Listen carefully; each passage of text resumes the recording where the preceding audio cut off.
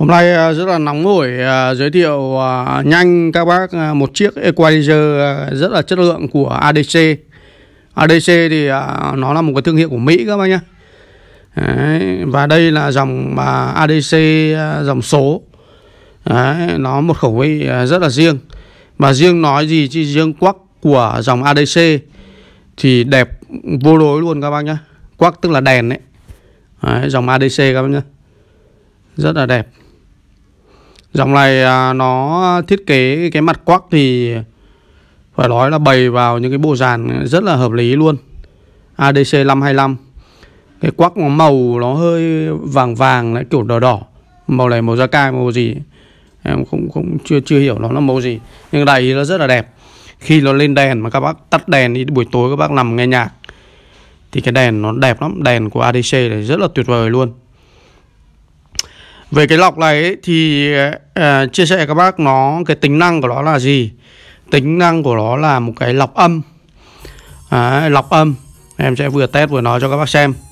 Nó lọc âm nó nó sẽ uh, gọi là thay thế hoặc là nó bổ trợ thêm cho cái âm ly của các bác ở những cái giải âm nó còn thiếu. Đấy, các bác hình dung như thế. Các bác hình dung là một con âm ly thì bình thường nó chỉnh giải bát, giải tép có chăng thì có con chỉnh giải chung.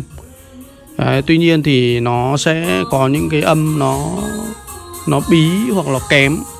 Thì có quai này vào thì chỉnh nó sẽ hay hơn. Đấy, nó sẽ kích tiếng lên. Âm sắc nó sẽ lên tiếng nó rất là tốt. Hoặc có những cái bài mà bát nó quá nhiều. Cắt hết bát rồi là vẫn ù thì cái dòng quai này nó có những cái tần số để cắt được cái đuôi bát đấy. Do đó thì người ta sử dụng equalizer. Mục đích là như vậy. Đấy. Equalizer thì nó sẽ đáp ứng được cả ba tần số luôn Bát trung tép. Và mỗi tần số thì nó lại chia Một cái gọi là là là một cái uh, chia nhỏ cái tần số của bát chia nhỏ chung chia nhỏ tép. Do đó mình chỉnh nó sẽ chi tiết hơn. Quay ADC các bác nhé USA đây. Newton USA à, ADC với cả à, à, DBX à, nó có những cái sự gọi là nó thực ra nó làm công ty em cũng hiểu là cái mô hình nó nào nhưng đại ý nó kiểu như Hyundai với Kia của Hàn Quốc trong cái ngành ô tô ấy. Đấy. Quai rất là chất này các bạn nhìn quắc đèn của nó nhìn rất là mê nhá. Dòng này mà các bác kết hợp với uh, kể cả những cái bộ à, uh, âm ly hoặc những cái bộ pao Tốc của Mỹ Đấy, hoặc những cái dòng đần nông nhìn chung là những cái dòng Nhật các bác kết hợp vào rất là hay luôn. Nghe nó khác hẳn luôn. Quai thì nó tương đối độc lập các bác nhé bác chơi bộ nào ghép vào cũng được. Bộ nghe nhạc các bác ghép vào cũng ok. Bộ hát karaoke ghép vào cũng được luôn. Đấy, nó rất là độc lập.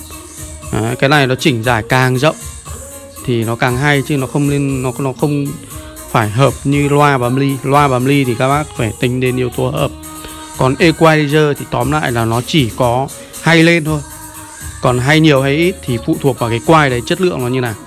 Và chắc chắn nó sẽ cải thiện tiếng của bộ dàn cho các bác. Quay ADC cho các bác nhé rồi, cảm ơn các bác đã quan tâm theo dõi. Nhớ đăng ký kênh, em sẽ lên nhiều những cái sản phẩm hot cho các bác để các bác chơi những cái ngày dịch như thế này.